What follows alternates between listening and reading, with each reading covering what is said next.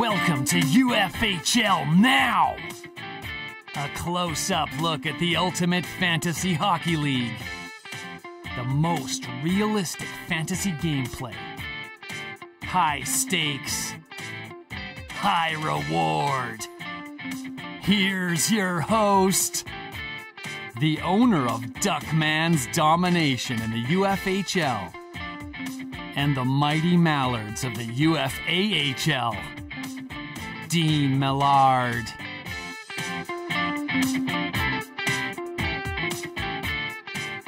Hello there, and welcome to edition 31 of UFHL Now. I am Dean Millard, proud to be the host of this program, as well as an owner in the UFHL, in the UFAHL, and the head of baseball operations for UFF Sports. So I am all in with this wonderful fantasy platform. If you'd like to follow Ducks, Duckman's Domination, it's at Ducks Domination.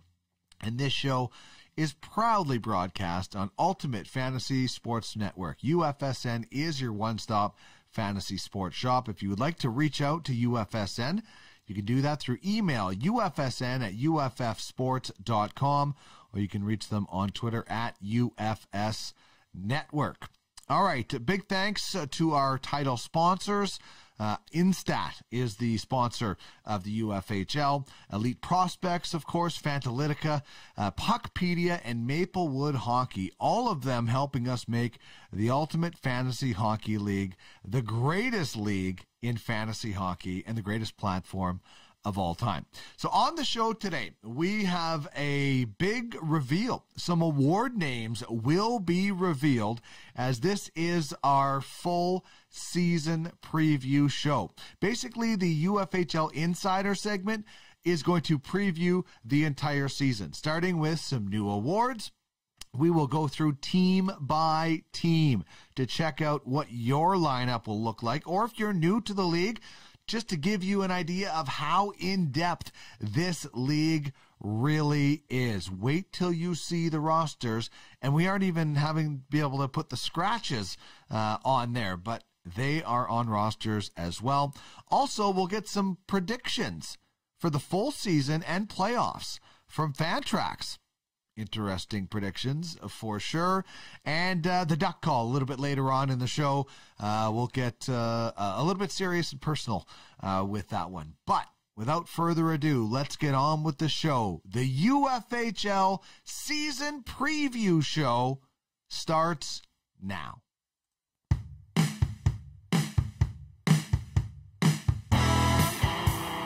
Time to get the scoop on the UFHL with our insider, Larry Fisher.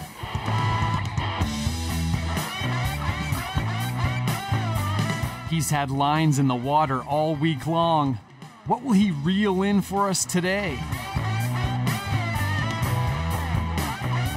Let's dive in and find out what's going on with the UFHL. Now!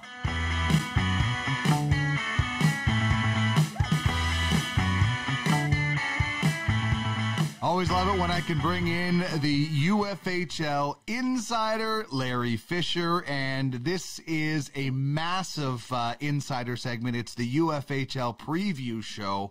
And we have a lot to get talk uh, to get to. It's also our 31st show, which always makes me think of goalie numbers. I was always a 35 guy. What were you, Larry? You're a former goalie. What was your and, and current still playing? What was your number? And I preferred 35, but I alternated between 31 and 35. So yeah, that's funny. Yeah, I had to wear 31 in high school because we didn't have a 35, and I was like, I'm wearing Grant Fuhr's number, the guy who always took away playing time uh, from Andy Moog. So 31 is uh, we we do have Grant Fuhr on set with us, so uh, a fitting show uh, for number 31. And man, do we have a busy one! But before we get to revealing the opening night rosters of what they uh, could look like on these teams, we have some news to talk about as far as some awards, and the voting is in. So I'll let you run through what the new awards will be, and then we'll get to some of the other award news as well. Sure, Dean. So yeah, the the like I said, the voting count in, and, and we have announced, or we're here to reveal the the new player awards for uh, the UFHL. Obviously transitioned from uh, naming the awards and, and awarding the awards based on what happens in the NHL. We're now doing it in the UFHL. We've transitioned. So all the awards are awarded by fantasy points, not by NHL equivalent points. So uh, very cool that way. And and you can bring up the the graphic dean of, of, of the new awards, the NHL equivalent awards. So obviously we have the Conn Smythe playoff MVP is now going to be called the the Yzerman Sakic Trophy. And you go down the listing, and the, obviously uh, the fact that Wayne Gretzky and Mario Lemieux are are going to be the the season MVP, the Hart, as well as the Art Ross uh, Top Scorer Award. Very fitting, and and most these players, Dean, uh, except for the Jennings, are all from sort of the generation that I grew up with, the guys that were dominant in the, you know, coming out of the 80s and throughout the 90s. These are all the stars, the Brett Hull, Teemu Selanne, Nick Lidstrom, Dominik Hasek. So I can definitely, all these awards resonate and, and they're relatable for me. So I, I like the decisions. And, and obviously the only one, like I said, that isn't my generation is the Bower Sawchuk Trophy. And I actually did a bit of research there because I, I knew they were both Leafs goaltenders, but that Sawchuk was brought in to, to be the backup to Johnny Bower, And, and, and they ended up platooning and being one of the obviously most uh, heralded uh, goaltending tandems of all time. So it makes sense that that would go to the top UFHL goaltending tandem, the Bower Sawchuk Trophy.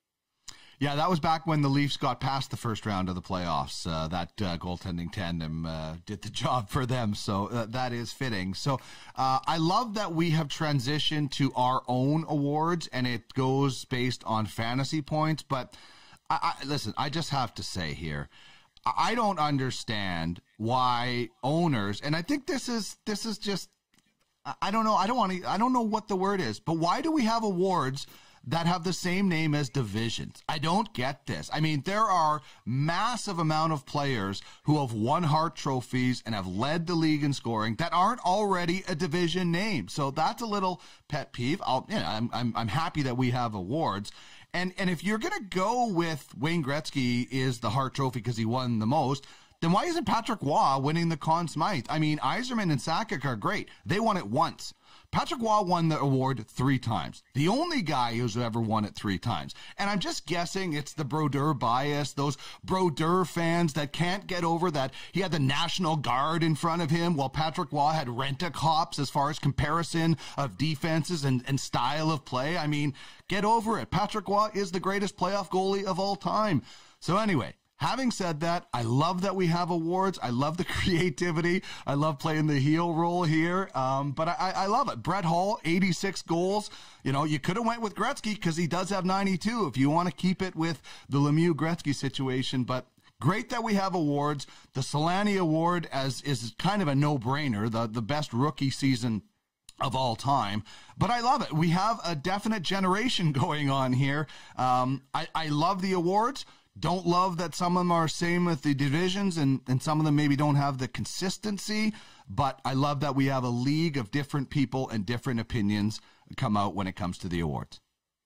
I think you're right, Dean. I think the Selanne and the Lidstrom awards, the equivalent to the Calder and Norris for top rookie, top D, I think those were pretty unanimous. The rest, there was some debate. Now, I'm with you on the Patrick Roy trophy for playoff MVP, but obviously, uh, Yzerman and Sakic, both uh, great mm-hmm. leaders, both captained uh, they had little mini dynasties, couple two three year runs there for Detroit and, and Colorado, obviously. So I can see why people like uh, those two names attached to that trophy as well. And and overall, uh, I, the division name thing that does uh, it, it, came up to me when I saw the names available, and I thought, okay, they're probably going to win because they're the obvious choice. But like you said, the division name, the, the trophy name overlapping, I don't love that, but I think it's uh, something where we win. We may see the division names change uh, in time if if somebody proposes that for the next offseason meetings, which uh, might be coming from Duckmans to propose the the division name changes now that the awards are the same name. Yeah, and, and I, hope that's. You know, listen, I love that this league allows the owners to have control, and and that comes with voting. So, and, and I I think it's great that we're allowed to vote. I hope we can avoid that in in Ultimate Fantasy League baseball, as uh, the top six bidders will get to name the divisions, but anyway, even though you could if you're going to go with the best defenseman uh, award, the best defenseman of all time is Bobby Orr. So if you're doing it in the same vein of Gretzky and Lemieux for those trophies, so anyway, I digress. It's great that we have awards. It's great that we have various opinions, but these aren't the only awards that we have, Larry. We have some other cool stuff going on as far as awards as well. We do, Dean. Uh, two cool new awards that are UFHL originals are we're giving an award for the top defensive defenseman.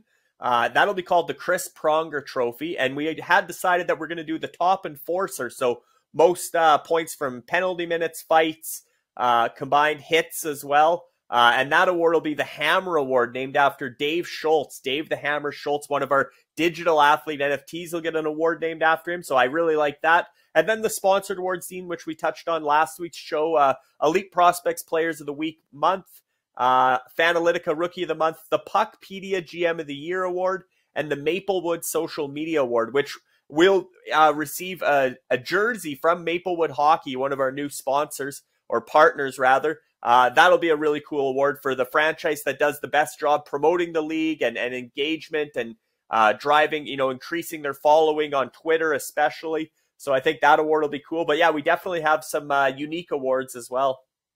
Awesome stuff. Uh, just more of why this league is the greatest and, and why we cover it like we do with an insider segment and a season preview. I mean, like this is this is like the the show this is our christmas eve show kind of thing. We're, we're so excited. It's our last show uh, before the the season really gets going. And and now it's time to dive in to the actual season preview. So you want to give just an explanation as i will start bringing up the teams of how you you know you went about looking at these lineups that you've put together for these teams? For sure, Dean. And this is just basically uh, looking at the lineups on Fantrax and on the UFHL uh, sheets and basically taking a projected starting lineup for for opening night. In some cases, I had to squeeze in a prospect or an injured player into the lineup just to fill it out because some teams are depleted. But generally speaking, this will show you how realistic the UFHL is, how much these lineups, you know, look relative to an NHL lineup. You can kind of envision all 32 franchises lineups, how they would do in the NHL and, and how they look. So uh, a really cool exercise. And, and we, you went through the the effort to put up graphics, and we can start with the Assassins, Dean. And here you see their lineup: forwards, defenders, goaltenders. Obviously, they got the LA tandem in net, uh, which uh, that's a team on the rise. Solid defense and and really some some good forward depth with a really balanced top six, and then a kind of a kid line and a, a depth line. So very much looks like an NHL roster. The Assassins are in good shape uh, to be playoff contenders in the Gretzky division. Yeah, I love that third line, and I love the goaltending tandem because you're looking a little bit to the future and and the present, and you know you're going to get some points, uh, uh, some action, pretty much uh, every single night. All right, let's move on to the Battlehawks now. Yeah, you got John Tavares as the franchise player. You got Brent Burns, Drew Doughty uh, anchoring the defense, and Sergei Bobrovsky in goal. So this is, I don't want to say studs and duds, Dean, but there's certainly some studs here with Tavares, Burns, Doughty, Bobrovsky. Uh, they had uh, Jake Gardiner going LTR, which opens up a spot for Moritz Seider. Uh, and they also have uh, in the future, Dean, this franchise, the Battlehawks, have two top prospects on the rise uh, Alexander Holtz and Lukas Reichel. So you look at the, the depth on the wings there with guys like Drake Caggiula and Brad Richardson. I think you're going to see guys like Holtz and, and Reichel potentially be in the NHL by the end of this season. So uh, the Battlehawks are, are going to be another team that's uh, battling for that playoff spot in the Gretzky division. Mm-hmm. Projected to be in the top 16 of the playoffs as we will uh, continue on. Let's go to the new kids on the block, and uh, I don't know if I've seen a more impressive fra- expansion franchise lineup than this one.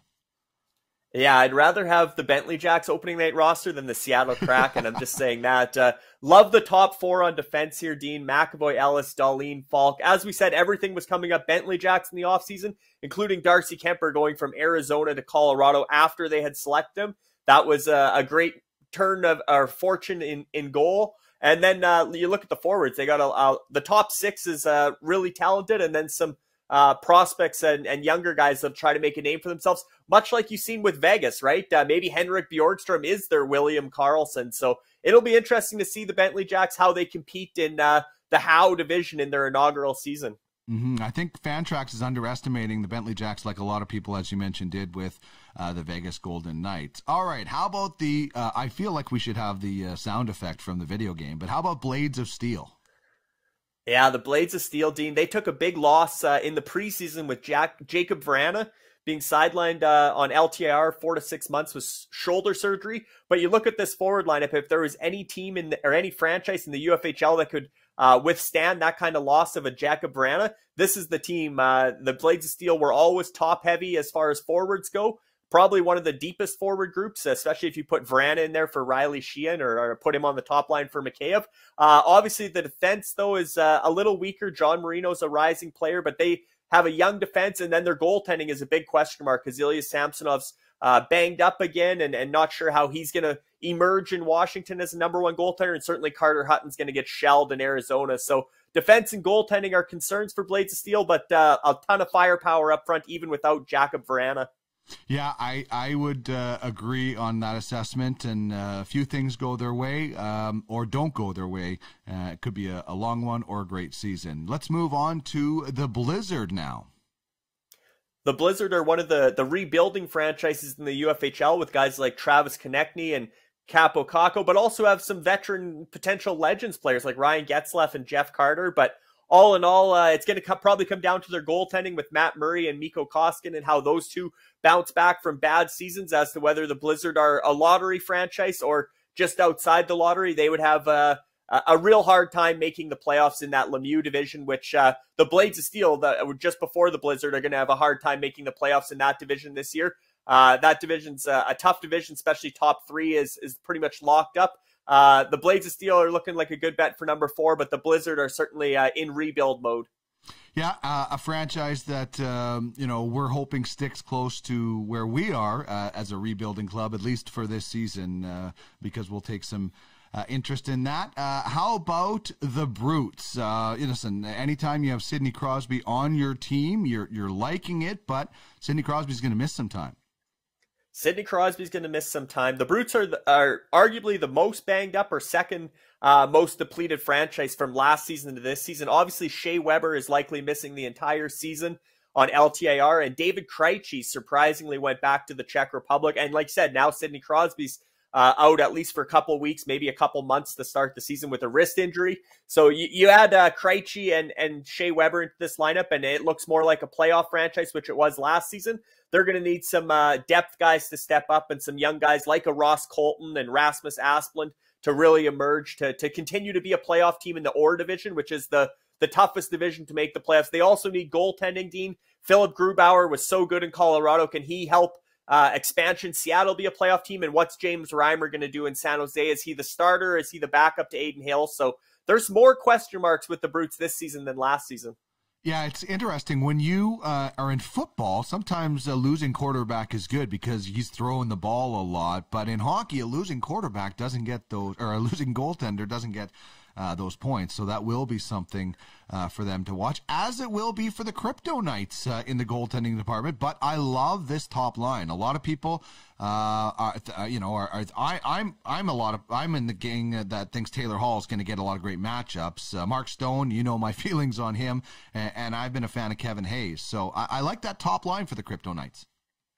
Yeah, tough offseason for Kevin Hayes. Obviously, losing his brother Jimmy Hayes, rest in peace. And then Kevin Hayes also injured for the first uh, four to six weeks of this season. So the Crypto Knights have a good top line when healthy, but they're pretty depleted right now. This is another franchise that seems to be trending towards a rebuild, Dean. Uh, it'll be interesting to see if they if they keep building around Taylor Hall, who's been on the trade uh, bait board or the trade block in the UFHL. Uh, Mark Stone and Roman Josi are sort of their franchise players. Charisse, the owner, loves Mark Giordano from his Calgary days, but he's not a flame anymore. Is he still untouchable? And I think they got a, a really good goaltender in Frederik Andersen, Dean, who uh, landed in Colorado or in Carolina, sorry, from Toronto to Carolina. I think he's going to win just as many games in Carolina. That's looking like a a strong spot for him. But really, like I said, Devin Dubnyk as the unsigned goaltender. If you haven't uh, got a PTO or a contract by this point, uh, unless he's going to sit at home and wait for uh, the first starting goaltender to get injured and hope somebody calls, it's likely looking more like retirement for Devin Dubnyk. So there's a hole in goal. And uh, the rest of the roster, as you can see, some young names, some rebuilding guys.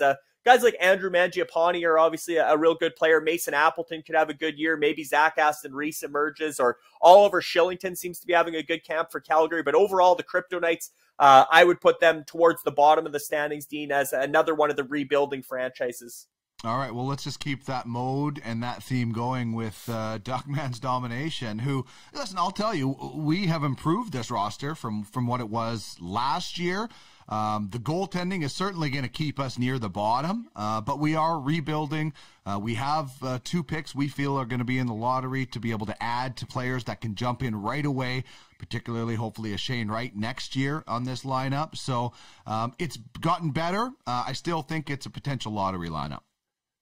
Well, certainly, Dean, uh, the defense. You got a top pairing uh, in the offseason with Dougie Hamilton and Colton Parayko both being offseason additions. How huge is that? Uh, but you're right. The goaltending, I think, with uh, Subban and Wedgewood uh, not being in the top two for for either of their teams, uh, it'll be tough to come up with goaltending points. Although a guy like Craig Anderson could be on the, the waiver wire here before Sunday. So maybe you end up getting a, a defunct starting goaltender, 40 year old starting goaltender, no less, mm-hmm. but you might be able to grab one off the waiver wire. Uh, Phil Kessel likely gets traded to a contender. He's in the last year of his contract. He'll be motivated to get a new deal. I think he's going to have a, a, big year and probably be a, a, discount next year. And Jeff Skinner, much maligned Jeff Skinner, is getting an opportunity on Buffalo's top line throughout the preseason. And uh, reports are he's looking better. And the real surprise here, Dean, or the real nice surprise anyway, is William Eklund being in Duckman's starting mm. uh, lineup ahead of schedule. Uh, a lot of people thought he might uh, go back to Sweden this year, but uh, or even develop in the AHL. But so far, so good at San Jose's camp. Looks like William Eklund is going to be uh, a top six forward right out of his draft year. And and Ty Dellandrea might make Dallas as well. He's sort of on the the bubble there, but certainly the youth movement. We're starting to see some of those young names uh, show up on the Duckman's domination projected rest roster, uh, highlighted by William Eklund. Yeah, that's the one thing I was really, really excited. That we definitely did not have him penciled in, and uh, to be able to get a look at him in, in San Jose, obviously they, they have some uh, some holes there. So yeah, but it will be definitely uh, another rebuilding, and then you know the the goal is that this time next year we're talking about our team as being a uh, contender. Uh, and in the Jeff Skinner thing, that's great news. We would still prefer a buyout, though. We would still prefer Jeff Skinner not making $9 million unless he's going to start scoring 40 goals uh, a season. Speaking of Jeff Skinner, this is the team uh, he came from. Yeah, Dynasty. Uh, Ryan Malone's franchise with uh, uh, Ed uh, Palumbo and Mark Yates uh, as the, the two headed monster as GM. They've really overhauled this roster in the offseason, put a really put Ryan Malone's touch on the roster with guys like uh, Stamkos and Killorn coming in. And, and you look at this roster, Dean, it's a quality. That top six is really good. If Jason Zucker isn't in your top six in the UFHL, you got a really good top six. Uh, the top pairing on defense, Brodin and Anderson, will be good. And it'll really come down to their goaltending. Adin Hill, is he going to emerge as the starter in in uh, San Jose, and how much playing time is Brian Elliott going to get in Tampa, and can he put up some goaltending points? But this uh, dynasty franchise could be in the playoff mix in the Howe division. Yeah, very interesting offseason uh, for uh, those guys for sure. Um, a lot, a lot of big moves, and they moved some contracts I didn't think they'd be able to move. How about the Eliminators? Where do you see them? Uh, the Eliminators are another franchise that's more so on the rebuilding side, although they were active in the free agent frenzy auction, brought in some some new blood there. Uh, they're obviously missing Tuukka, Tuukka Rask in goal. Uh, Rittich and Pickard. Obviously, Pickard won't be in the NHL, and Rittich a backup in in Nashville. So you really miss Tuukka Rask in goal. He's on the LTIR, won't be back until at least January. But uh, you look up front, Dean, that those top two lines, top three lines, even uh, top eight forwards are are real quality guys. And I think Ryan Murray could have a bounce back in Colorado. Uh, and also, you know, they got the, the Florida pairing of Nutivaara and Montour and and uh, some young guys in Chicago, as well as uh, obviously Alex Pietrangelo being sort of the face of the franchise as their leader on defense. So I think uh, the Eliminators are improved, but can they uh, push the Blades of Steel for a playoff spot in the Lemieux division? I think that would probably be a stretch without Tuukka Rask in goal. Uh, I've been a Ryan Murray fan. I always think about that movie Sliding Doors and what would have happened if the Oilers would have drafted Ryan Murray instead of Yakupov and you know, maybe he still gets injured and Yakupov still doesn't develop, but I always wonder about those what ifs. Uh, okay, let's move on uh, from the Eliminators to the Gator Chomp that became so popular during the playoffs. And the Gator Chomp have a what if on defense with Travis Hamonic not uh, showing up here mm. on the depth mm. chart. We're still waiting to see what happens there. But this franchise, Dean, uh, is deep, deep, deep up front. Uh, uh, they're a contender for for the Founders Trophy in the regular season, and and it, you know they were the finalists in the Klein Cup playoffs, uh, lost out to Red Army uh, this past spring, and I think uh, the Gators are going to be a contender again. Certainly Nathan MacKinnon, the franchise player, but you go up and down the roster, there's a lot of good value there. They had some players land in good spots: Corey Perry in Tampa, Keith Yandle on a cheap contract after a buyout uh, in Philadelphia, so there's a, a lot of talent on this roster, and I really do think the the Gators are going to be one of the the tougher franchises this season in the UFHL. All right, now we move on to the Generals, and uh, you know this is a team that has guys like Laine and Seguin, and you know I think those guys have been on and off uh, the the trade block over the last year at different times. Certainly, we've had some discussions, but uh, where do you see the Generals here? Can they, uh, you know, surge into the top ten of the UFHL? certainly I see a, a, playoff franchise this time around. Health being the biggest thing for the Generals. A lot of their top players were injured last year, including Tyler Seguin. So uh, I think a healthy year, and I think uh, that uh, I guess they got a U.S. national team development program line of Farabee, Keller, and Wahlstrom. If if that line can uh, click for the Generals, I really like their chances. But when you got Nils Hoglander, Nico Hischier, and Kevin Labanc as your third line in an NHL equivalent league, that's looking really good. I think mm-hmm. Jake Bean in Columbus is looking good. Thatcher Demko, obviously the starter in in Vancouver going forward. I think the the Generals, uh, knock on wood, if they can avoid the injury bug again, are certainly a playoff franchise and, and can make some noise. All right, uh, the Godfathers uh, have uh, some some really interesting pieces. If if Carter Hart gets has a bounce back season that people are projecting, there's a lot of people that are really high on Philadelphia. So if Carter Hart has a bounce back season, uh, that is a huge catapult for the Godfathers uh, because Carter Hart has has not been able to produce the fantasy points that people were expecting because that Philly team has has had some obvious issues. And I like Philly as a rebound team in general, so I do like Carter Hart's chances of of being a better goaltender for the Godfathers. Uh, they completely overhauled. They had Carey Price and uh, Jake Allen in goal last year, so two new faces in goal. I do like Carter Hart's chances of a bounce back season. Uh, obviously, they went out and acquired guys like Miro Heiskanen, John Carlson, uh, brought Mikko Rantanen back into the fold. Uh, they they did a lot of moves this offseason. They lost Colin White uh, just recently, Dean. He won't be their fourth line center. Likely they got to slot in a guy like Nick Petan there or something, but that's a deep forward group. Uh, I really like that defense. I think that's a great defense core. And uh, and Carter Hart and goal. So I think the Godfathers, much like the Generals, uh, the Gretzky division was the weak sister of the, the UFHL last season, Dean, aside from the Grizzlies and Red Army on top. And I think the parity in that Gretzky division is going to be off the charts this season, and, and the Godfathers are going to be a big part of that as a, a playoff contender. All right. Well, speaking of the Grizzlies, uh, I mean, you, you, when you talk about, hey, we got a really good line on our fantasy hockey team. It you know it's usually made up of guys that are on different teams or you know even different lines on teams. They've got a first line that is actually could be one of the best first lines, or or uh, not first line because McDavid's always on there, but one of the best productive lines in hockey is actually their first line. That's a cool rarity. It is uh, obviously uh, Andrea Krandic and, and the owner, her mom Connie Krandic, uh, very uh, much the Oilers fans. You see the Oilers theme here, but yeah, to have that uh, Nugent Hopkins, Draisaitl, Yamamoto top line just looks so cool in a fantasy league because where else can you actually draft all three? Usually somebody else takes them, and and this is a dynasty league, so they can keep that line together as long as it lasts. Uh, a couple notes here, Dean. Uh, Evan Bouchard, this is the year he's going to get a big opportunity in Edmonton, so he's uh, a big player on their defense. They also have Tobias Bjornfot, who might uh, be in there ahead of a guy like Nick Jensen.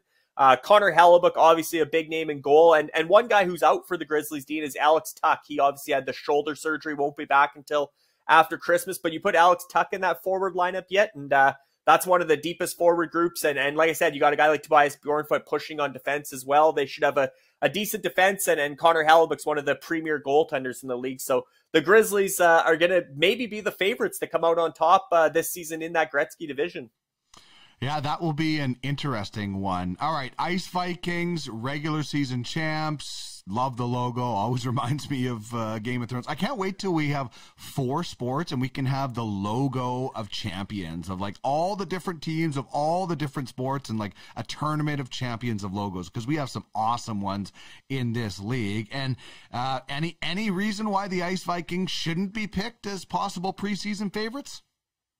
Yeah, can they repeat as uh, Founders Trophy winners, as regular season champions? Uh, remains to be seen. One thing, Dean Brady Tkachuk still not signed in Ottawa as of today, but uh, I know that that has got to get resolved. Ottawa's got to find a way to get Brady Tkachuk back in the fold. But can Mika Zibanejad uh, have the season he had last season? Everything went right for the Ice Vikings last season. This year, uh, you know, obviously uh, Evander Kane's MIA. They own Evander Kane, so they're missing him. Uh, there there are some question marks. Uh, the defense got uh, they had to sell off some defensemen. They let uh, Jamie Oleksiak go to free agency, so they got some young guys on defense. But uh, Semyon Varlamov in goal, and they really still have a hard hitting team, Dean. And we know how important hits are in the, the UFHL. So as long as Brady Tkachuk's back, the Ice Vikings are still a, a contender. And I don't know if they're the favorite anymore in that Lemieux division. The, the Yetis and Stingrays have uh, made a lot of improvements in the offseason, and the Ice Vikings had to subtract some salary and have some situations like Evander Kane. Okay, so we've talked about a few teams uh, in um, in the Orr division that were, uh, you know, maybe uh, Duckmans and, and, and Brutes maybe not being, well, Brutes are more of a playoff contender than Duckmans, but uh, now we're talking about Kamikaze, who uh, definitely should be a contender for a spot in that Orr division. Yeah, Kamikaze's got a, a lot of young blood coming, Dean. They got uh, guys like Connor McMichael, Victor Soderstrom, uh, and, and, another whole wave of guys down on the farm with Jack Quinn and a whole list of uh, first round picks uh, close to making the, the jump, but certainly they have, a, again, a hard hitting team with guys like Ritchie and Kraus. And I think it, it really depends. Does Vladimir Tarasenko have a bounce back year? Does Jacob Trouba have a bounce back year? Does John Gibson have a bounce back year? Those are three guys that didn't have great seasons last year or were hurt. Tarasenko, Trouba, Gibson. If those three perform to their ability, I think Kamikaze will be a, factor in that Orr division and, and certainly could uh, be competing for the final uh, a wild card berth in the in the uh, Legends Conference. All right, uh, we've mentioned a few teams that have been busy in the offseason. George Batchel has been really busy with the Monarchs, uh, retooling this roster, who won it all in the very first year and then uh, fell off a little bit. Has the work that George has done been enough, in your opinion, to make this a contender? Well, the best thing that happened to George is Nikita Kucherov's healthy. We saw how dominant he was in the playoffs. He missed all of last regular season. That's why the Monarchs missed the playoffs in the UFHL. You get your franchise player back. That's huge. They did trade their other franchise player, Victor Hedman, for Seth Jones, and Ethan Bear came in that deal as well. So uh, maybe a little deeper on defense. Uh, guys like Josh Norris, Carter Verhaeghe, uh, guys that really emerged. They need a bounce back from Pierre Luc Dubois. He's got to get comfortable in Winnipeg. And the goaltending is Ben Bishop ever going to play again? What's Jonathan Bernier's role in New Jersey? Are the Devils a better team? There's some question marks here. Yanni Gourde's probably out till Christmas or out for a couple months anyway in, in Seattle now. But uh, overall, I think the, the Monarchs are, are again, a, a stronger team than they were last season simply because Nikita Kucherov's back in the lineup. All right, uh, the Mystics, uh, they also missed Jonathan Drouin uh, for a good portion uh, last year. What do you see from this lineup? a younger lineup. They did land Victor Hedman. Uh, Colin Mills is a Colorado Avalanche fan, so you see some Colorado players showing up here. Uh, obviously, Connor Timmins was a Colorado player, traded to Arizona. He'll get a big opportunity there. They landed Linus Ullmark from the Titans as their new goaltender, who's going to obviously be the likely the starter or platooner in Boston. Uh, a lot of their players uh, change teams. Dadonov's in Vegas. You know, it'll be interesting to see how that all shakes out. But uh, certainly a, a, younger team overall and a team that's uh, trying to take steps forward and see guys like uh, Matt Zuccarello and some of these veteran guys, Paul Stastny, maybe rebound as well. All right, uh, now we move on to the North Stars, and we saw you know Jason Robertson uh, on the jersey that uh, the North Stars are getting, so that's very cool. You know uh, that he's a key part, and I'm, I'm a fan of his. I loved covering Curtis Lazar as an Oil King, and uh, I'm, I'm, sure you love chatting with him every time you got a chance to, because he had the biggest smile of all time, and I'd love for him to get going. But this is probably a team that's going to be closer to Duckmans than than maybe it is uh, closer to the Ice Vikings certainly projected as a, lottery team, Dean. Uh, they, are reliant on uh, Jason Robertson having a big sophomore year, as well as uh, that Nashville tandem that's leading them, Johansen and Duchene. This might be their last hurrah in Nashville. See how Nashville plays this season. Uh, you mentioned Curtis Lazar. I'm a big fan of Curtis Lazar, but uh, seeing him as a second line center in the NHL is probably a stretch at this mm-hmm. point. So that that speaks to the the lack of depth uh, for the North Stars or the lack of up top six talent uh, and you need a guy like Erik Karlsson to stay healthy and have a bounce back year. Uh, and the goaltending I would consider to be uh, in the lower echelon of the UFHL with Casey DeSmith and Ville Husso tandem. Uh, DeSmith pushed Tristan Jarry last year, but I think Tristan Jarry is still the starter in Pittsburgh. So overall, the the North Stars, like you said, are going to be uh, battling the the Duckman's domination for the lottery positioning. The Outlaws were a perennial top 10 team last year as we did UFHL now and brought up the top 10 every week. Are they again going into this season? Good question, Dean, and it's it's tough to say. I mean, obviously Artemi Panarin is a, is a huge part here. Uh, Max Domi surprisingly was expected to be out maybe till Christmas. Now sounds like he might play in the season opener. So mm. he had a miraculous recovery in Columbus. That's big news uh, in the last couple days. Uh, can Rasmus Ristolainen uh, re- regain his form? Uh, re- return to form in Philadelphia. That's a new place for him. And and obviously Jake Allen's going to be carrying the load in Montreal now that Carey Price is out. So you got two starting goaltenders with uh, Saros and Allen. So I like this franchise, but uh, again, the Howe division has some some new contenders emerging with Dynasty, with the Bentley Jacks. Uh, can the Outlaws hang on to their playoff spot? It'll be interesting to see.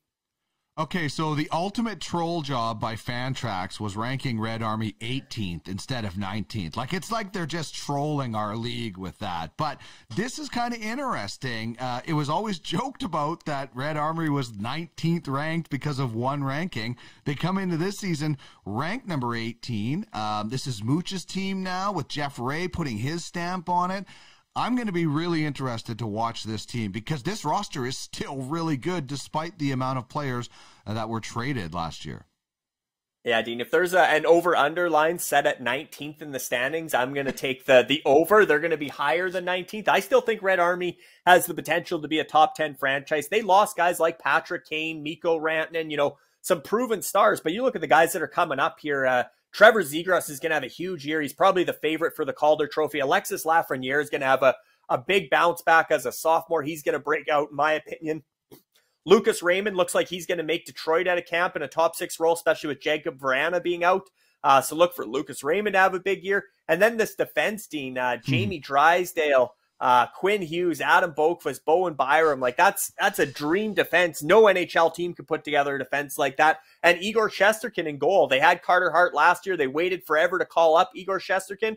Finally got him in. Now he's the the face of the franchise as far as goaltenders go, Igor Shesterkin. But overall, again, you know, Jack Hughes is going to have a monster year. I think this is a, a top ten franchise, and I think they might uh, surprise everybody and continue to contend for the the uh, Gretzky Division title. All right, uh, Rock Republic. Uh, this is a, a, an impressive uh, lineup and getting a lot of respect from Fantrax. This is the lineup, Dean. It's the deepest franchise in the UFHL Rock Republic, but they have about a half dozen guys that are entering their final season of uh, being waiver exempt. So they're going to have to make some roster decisions throughout the year. They're going to lose a lot of good young players on waivers prior to next season. But for this season, Dean, uh, I look at that third line Newhook, Pinto, Mercer. Rock Republic is a Newfoundland based franchise. Imagine having Newhook and Mercer together on a line as, as Newfoundland kids. And I look at Alex Romanov on uh, defense. He's going to have a huge role in Montreal.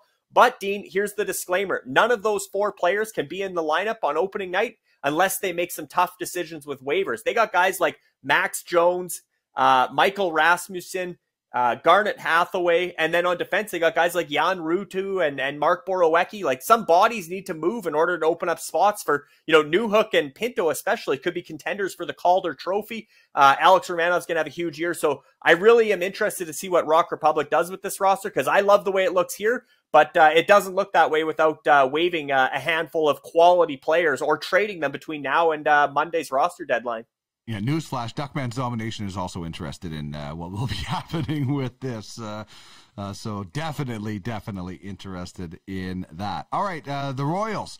Um, they are one of the more busier teams, one of the more active teams. Arnie Brent do a great job with this roster. What do you think of, uh, you know, like anytime you have Alex Ovechkin on your roster, um, I'm I'm really excited to to to watch it. And anytime you have a guy like Tim Stützle and Jonathan Huberdeau on your second line, I'm really interested to watch your team. Yeah, this is an awesome lineup, Dean. Uh, it might be one of the favorites to win the, the Founders Trophy or Klein Cup as well. Uh, I think, like I said, acquiring Matthew Tkachuk and, and Tim Stützle in the same offseason, huge blockbuster moves. They really overhauled a, a, large part of this roster, and it came out looking better, in my opinion. I mean, even look at that top defense pair, Slavin and Chychrun. I mean, that would dominate in the NHL, that pairing. So overall, I, I, really like this lineup, and they still have some good prospects coming to, to fill in for some of their depth guys uh, as the season progresses. As injuries happen, they're going to have that depth. So uh, it'll be interesting to see how the goaltending plays out. Vitek Vanecek and Ilya Sorokin, can they both become starters or push for at least a 50 50 share in goal? Uh, that'll be the big question for the Royals. But up front, that forward group's one of the best, and, and I really like their top four on defense. All right, let's move on to uh, the snipers, uh, who unfortunately have just had bad luck. Uh, the latest, Carey Price taking some time off. We're going to address that a little bit later in the duck call, uh, uh, talking about uh, mental health and making sure it's a priority. but this snipers team, man, they they they have some roadblocks in front of them with some superstars on the shelf. Yeah, Dean. Uh, Jack Eichel and Carey Price, the two faces of the franchise that the, the LeBlanc family uh, went out and acquired after purchasing the franchise back in May, are both on the shelf uh, indefinitely to start the season. Uh, Nicklas Backstrom's hurt as well. Uh, Eric Staal and Patrick Marleau haven't signed yet. Are they retiring? Sami Vatanen went back to Europe somewhat surprisingly. So, uh, all in all, the hits keep coming for the Snipers. And but at the end of the day, you look at, you know, I mean, Cole Perfetti's probably not in the NHL to start the season, but he's going to be a stud. But uh, Nick Suzuki, Cole Caufield, you got two thirds of that Montreal top line. Uh, Cam York might not be in the NHL to start, but he's not far off in Philadelphia. And uh, actually, one guy who might be in the NHL to start, by the sounds of it, Dean, is Seth Jarvis in Carolina. He might force his way onto that roster, especially with uh, Vincent Trocheck being hurt to start the season. So Seth Jarvis might slot in there instead of uh, Cole Perfetti on the top line, but there's a lot of uh, future firepower coming for the Snipers, including Rodion Amirov in Toronto. A lot of Leafs, a lot of Leafs on this roster now. Alex and the LeBlanc family are Leafs uh, fans, so you see Jack Campbell as their now de, de, facto starting goaltender with Price on the shelf. So I still like a lot of things about the Snipers, but I'm I'm backing off on my prediction that they're going to be the the surprise franchise in the UFHL, just with the way the Jack Eichel saga played out, and now Carey Price. Uh, sidelined indefinitely as well. All right. Well, Ian Constable had the Stallions uh, on a real run last year to make the playoffs. Did a great job. Uh, proved himself as a GM. What kind of work is he going to have to do to get there again this year? Yeah, he's went into more of a rebuilding mode this year, Dean. To be honest, uh, traded Matthew Tkachuk, sort of the face of the franchise for the Stallions, which had to pain Ian being a Flames fan. Uh, got back Quinton Byfield, and then Quinton Byfield fractures his ankle in the preseason, and uh, is out indefinitely. Looks like a, a, bad break there for the Stallions and for the Los Angeles Kings. But uh, you look at the lineup, uh, it's still got uh, some good potential. It's actually fairly deep. I think Dylan Cozens takes a big step forward. I think Christian Dvorak will do good in Montreal. Tage Thompson was emerging. I think, you know, Brandon Saad in St. Louis should be good. So I think uh, it has potential to still hang around that playoff race in the Gretzky division. But when we look at the work of, of the Godfathers and the and the Generals getting healthy and and and even Red Army still being a force, I think it's going to be very hard for the Stallions to to make the playoffs this season, considering they they took a step back in the offseason. All right. Well, the Stingrays, uh, I, I, love this roster. Um, I wouldn't be crazy about that division with a couple of heavyweights uh, in front of you. One of them we haven't yet to get to, but this is still a, a very good roster, and, and it's almost like that one, two, three in the Lemieux division is a bit like Murderers Row. It is, Dean, and it's looking like they could have three of the top five overall franchises with uh, the Ice Vikings, who we already mentioned, who might slide a little bit this season. They were last year's uh, first place team. And then obviously the Yetis still to come. But the Stingrays, I look at this roster and I see a, a really good top six, uh, maybe the best defense pair uh, in the league with Werenski and Fox. And certainly Cam Talbot's been really good in Minnesota. Can he hold off Kaapo Kähkönen and continue to be the starter there? Uh, but I like that defense in general. I think that's six deep, and and those bottom sixteen. Talk about the hit parade with uh, guys like Maroon, Kara, Martin. Uh, they're gonna they're they might not be household names in the NHL, but they're they're very effective players in the UFHL. They were targeted for that purpose by Arlo Schultz, and I think the Stingrays are going to uh, continue to be a force in that Lemieux division, uh, both in the regular season and in the playoffs. All right, from a contender to uh, another team that's going to be lower uh, in the standings going into it, Strong Island. But I'll tell you, these guys are working to improve. Uh, you know, they have been reaching out uh, the last little bit and talking with me, and I'm sure other teams. So um, while they might be projected to start at the bottom, um, they're working hard to improve this club. And I think Fantrax, when they see Strong Island, what they're the big knock on Strong Island is what you see here is pretty much all they got. They don't have any depth beyond that as far as injuries and stuff, where all these other franchises have that next wave of guys mm. that can mm. fill in. Strong Island doesn't have the depth, and that's their biggest weakness. But uh, I look at this lineup. If, if, if everybody had to play with just 20 players, this would be a playoff hmm. team. And and Strong Island was a playoff franchise uh, last season. They made the playoffs as the fourth seed in that tough Orr division. Can they do it again? It, it would take a, obviously you know that top line has to carry them. Uh, and the defense, they really lost uh, Rasmus Dahlin in a bit of a blunder in the, the expansion draft. that was a tough blow. And and just uh, Dougie Hamilton, they traded away obviously to to uh, Duckmans. So I, I think it, or I think they traded him uh, to Godfathers who flipped him to Duckmans or Assassins flipped him to Duckmans. But nonetheless, uh, down Dougie Hamilton and Rasmus Dahlin on the back end, that obviously makes a big difference. And I do think Strong Island's going to be in tough to make the playoffs. But on paper, this this lineup looks pretty good. All right, well, let's remember the Titans because uh, they could be a top five team. That Orr division could have two top five and two bottom five teams. It's like the NL West in baseball, where you have the two best teams and then a bunch of bottom feeders. So that's kind of what the Orr division is shaping up, and the Titans will want a challenge for that. Yeah, the Titans are the reigning Orr division champions, and I still think they're the team to beat in the Orr division, although Fantrax Republic. Uh, but I, I look at look at this lineup, Dean, and uh, what's not to like, right? I mean, they're they're pretty much top to bottom. That's a deep roster. Jake Oettinger might start in the AHL because Dallas uh, still has Holtby and and uh, and uh, Anton Khudobin in goal, but Andrei Vasilevskiy's the best goaltender in the league. You don't really need a, an active backup when you got him leading the way, and Tampa's going to win a ton of games. And and again, if we're talking best defense pairings in the league, I think Morgan Rielly, Cale Makar has to be right there with uh, with Werenski and Adam Fox. So that's a, a great defense pair. And, and overall, I think the, the Titans are still the team to beat in the Orr division. All right, back to the rebuild and uh, the Tornadoes uh, look to try to battle a team like Dynasty to to avoid the basement in the Howe division.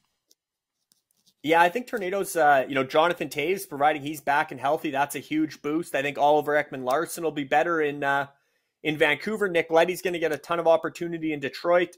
Uh, Jeremy Swayman's going to probably get a lot of games, maybe even be the starter in Boston. So I think this team quietly is improving. Uh, you know, again, uh, some young guys that really have to step up. Sam Steel, Barrett Hayton, Tyson Jost. That second line is going to be the key here. Uh, if Max Domi's back for the season opener, I don't think Cole Sillinger will be in the NHL potentially in Columbus. But uh, overall, I think this roster has taken steps forward this offseason, and I think they're trying to play their way out of the the bottom five lottery. But it, it will be a challenge, and they'll need some things to go right.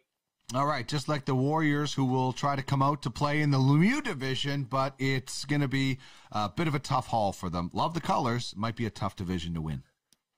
It is a tough division. Uh, again, who's going to take that fourth playoff seed? Can can the Warriors uh, steal it from Blades of Steel, who had it last year? Uh, again, the Warriors last year were at the bottom of the standings because of injuries. They had a ton of injuries, but this year, you know, it looks like Radulov's back. Uh, Devon Toews, though, he's out to start the season in Colorado, but hopefully not for long. Uh, overall, this roster looks like an NHL roster, to be honest. You look at this and it it looks like a, a team that an NHL uh, or a, a makeup a depth chart that an NHL team could ice for day one. Uh, but yeah, you're right, Dean. There are some deeper teams in that Lemieux division, and the Warriors are in tough. But certainly nice for them to have Elias Pettersson back at a, at a nice cap hit and and uh, have guys building blocks like Ivan Provorov on the back end. Mm-hmm. Yeah, exactly. Uh, could be a playoff team though, most definitely. This next team, West Coast Express, this is this to me is a, a, a top ten team. Like this is a, a pretty impressive uh, roster. Um, I you know I, I I think people underestimate Yaroslav Halak a lot, man. They do, and I think he'll get some opportunity in Vancouver. And obviously, West Coast Express is happy about that because they're uh, Vancouver mm-hmm. Canucks fans, as you can tell by the color scheme.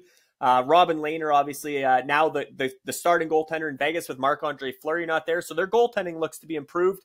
Uh, Aaron Ekblad is healthy again. That's a big. Uh, again, we're talking top defense pairs. How about Shea Theodore, yeah. Aaron Ekblad? That's got to that's got to be in the conversation as well. Uh, forwards, Dean, that, that's three lines deep, and and they still have a guy like Nikita Gusev who was cut from his PTO in Toronto, but to some other franchise like Arizona or somebody scoop him up because he's obviously still an, an NHL caliber player. So uh, keep an eye on Nikita Gusev leading up to Monday's roster deadline. But overall, Dean, I think another young guy, Nils Lundkvist, potential uh, Calder candidate uh, behind you know, Adam Fox was last year's uh, big De- Norris winner in, in, with the Rangers. I think Nils Lundkvist is a, uh, another big name coming for the Rangers. So it'll be interesting to see. But they got a, a good young team. It's a balanced team between young and, and guys that are in their prime with Marchand and Gaudreau and guys like that. So I agree. I think West Coast Express is going to be a, a contender in that Howe division this season.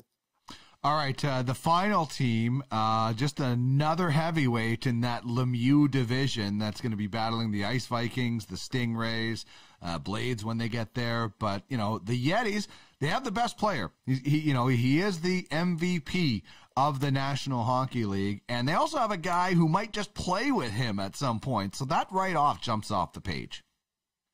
Yeah, the McDavid Puljujarvi combo uh, looks good up on the top line there. Uh, that forward group, Dean, is extremely deep. And and speaking of deep, look at that defense, one through six. Uh, I don't think you find a better one through six uh, in the UFHL. When you got a right side defense of John Klingberg, Neal Pionk, and Tyson Barrie, uh, you're in pretty good shape. Uh, depending what Mackenzie Blackwood and Mike Smith do in goal, the Yetis could challenge for the the Founders Trophy as regular season champions in the UFHL.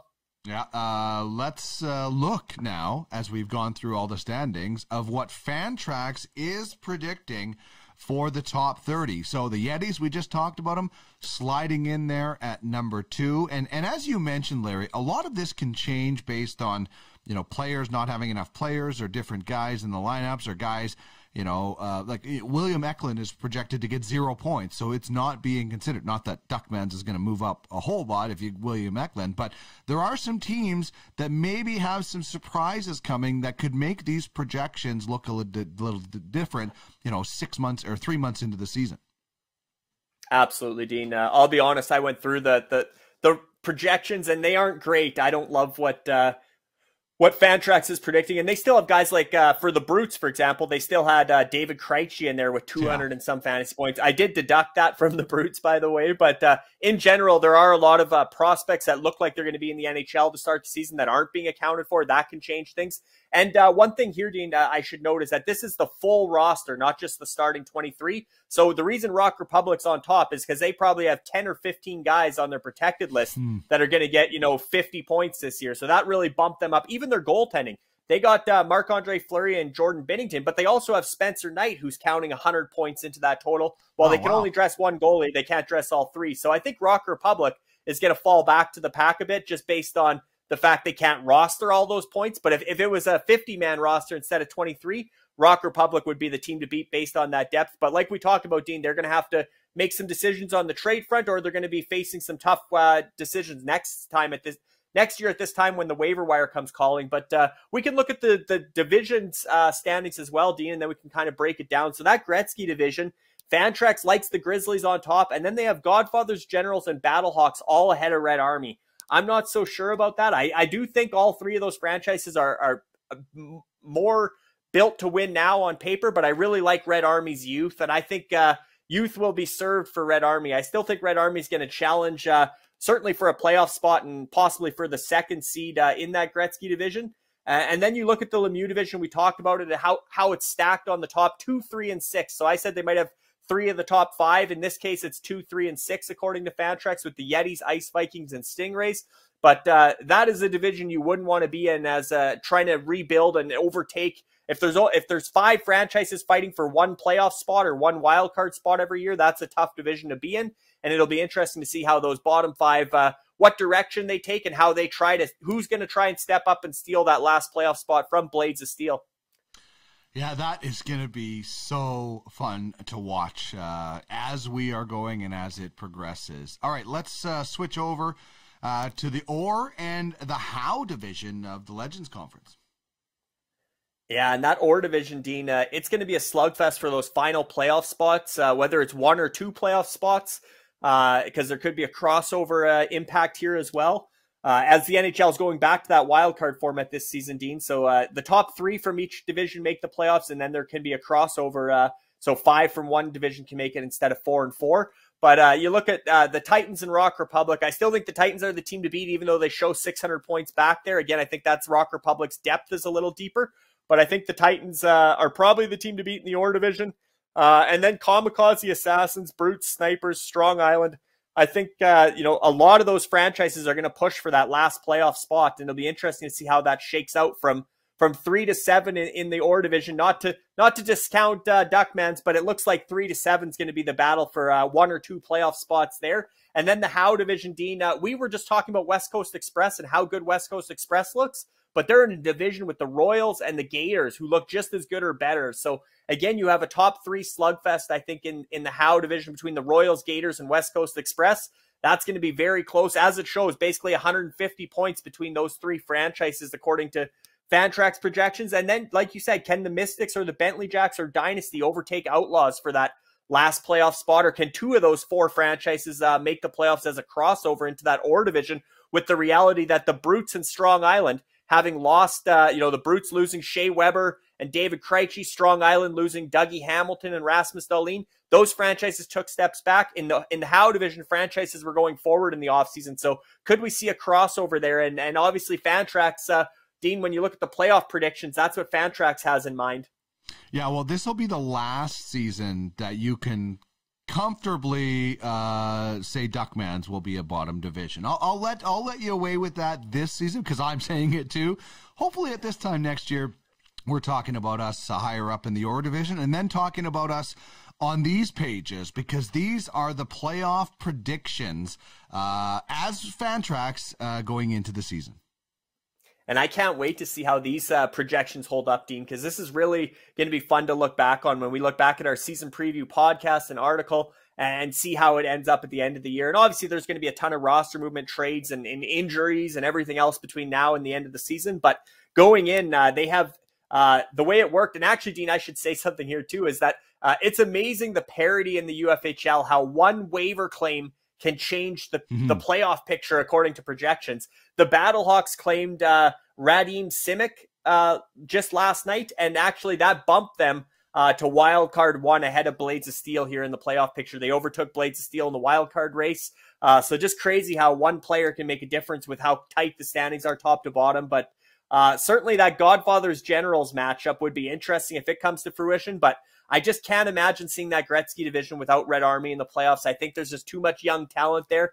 And Jeff Ray being at the controls. I know Jeff will kind of trend towards the younger side and likes the the long term future Red Army. He's not going to trade any of those young studs for for proven talent, but I think those young studs will come through for him and, and somehow find Red Army on this page somewhere, whether they're wild card one or maybe they cross over into that Lemieux division as wild card two. But uh, I, I, think uh, that Ice Viking Stingrays, or if we get Yeti Stingrays rematch in the playoffs, that was the, the first round matchup uh, last season, Dean. I think uh, either way, you might see Yeti Stingrays clash again in the playoffs in the Lemieux division, and that division could produce the the regular season champion and the playoff champion for uh, the second year in a row.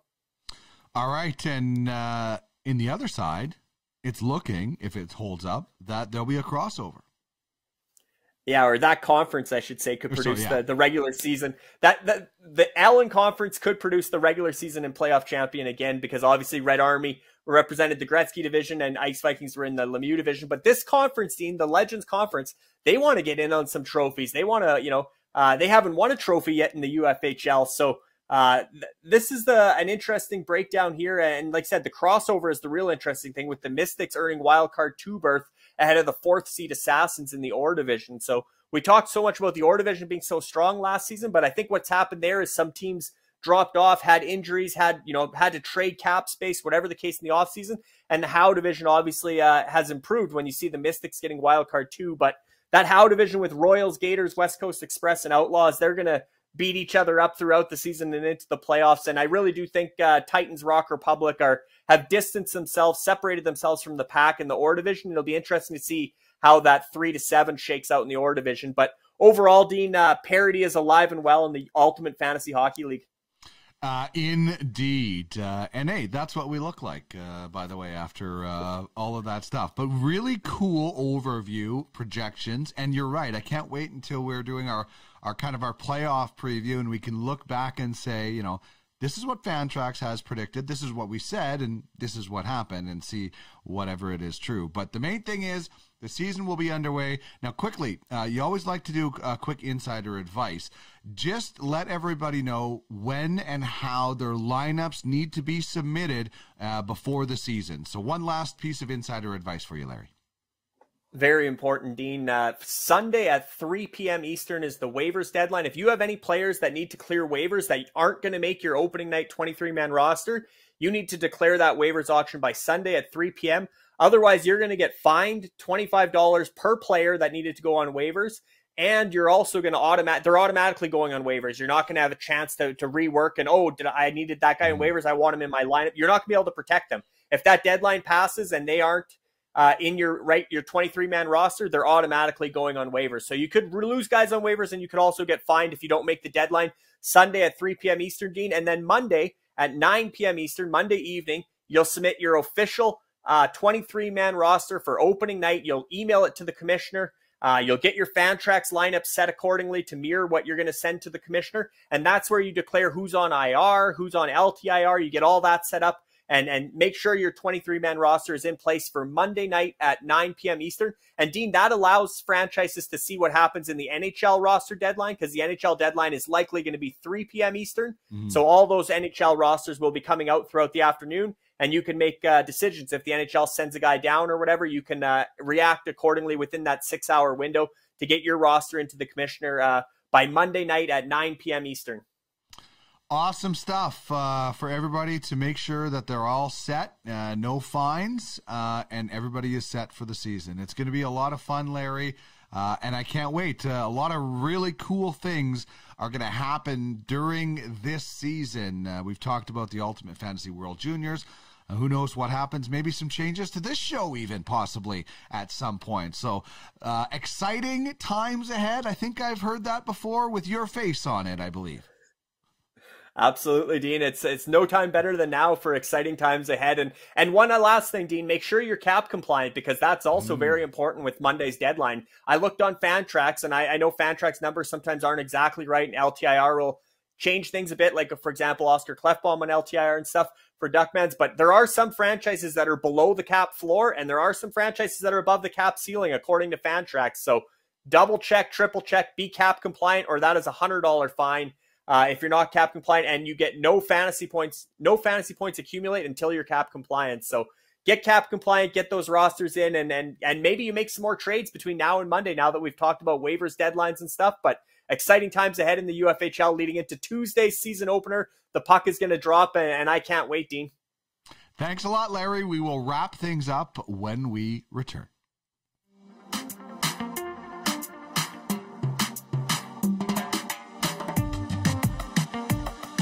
You're watching the Ultimate Fantasy Sports Network, UFSN, your one stop fantasy shop. Get in touch on Twitter at UFS Network. Email us ufsn at uffsports.com.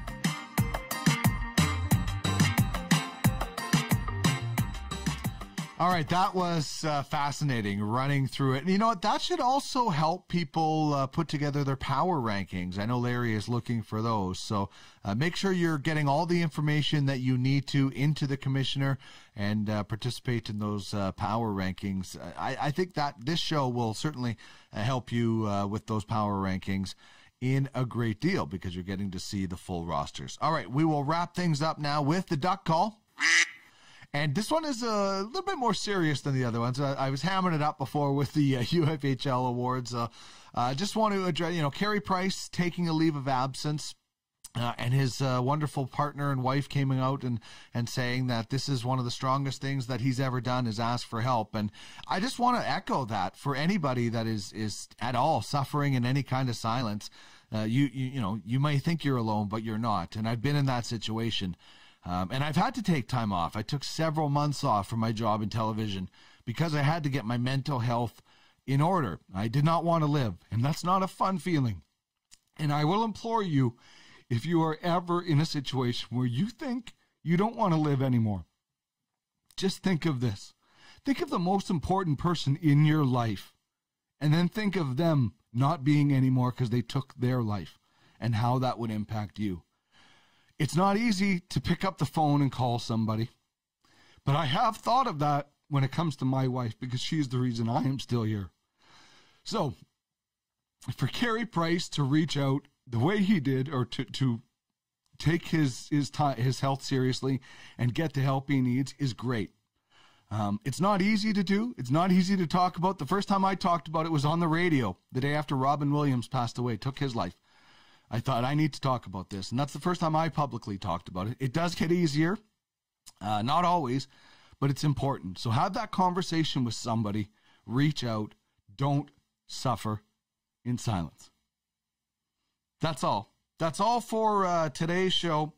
Um, thank you so much for joining us uh, on the program today. Uh, congratulations to everybody in the UFHL. Our third season is upon us. So go get it. Go after that Klein Cup and the Founders Trophy. We have very cool things on the way. The UFBA rosters will be revealed very soon.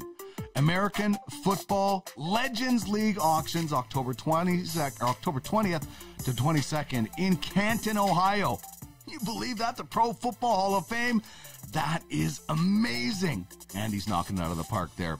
And speaking of knocking it out of the park, baseball playoffs on right now, UFLB franchise auctions November 5th to 7th.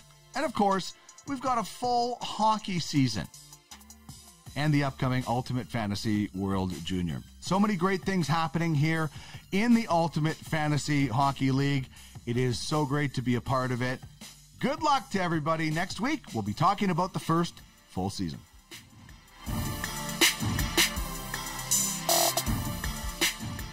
UFHL Now is produced by DM Productions. To get in touch, head to www.podcastalley.ca.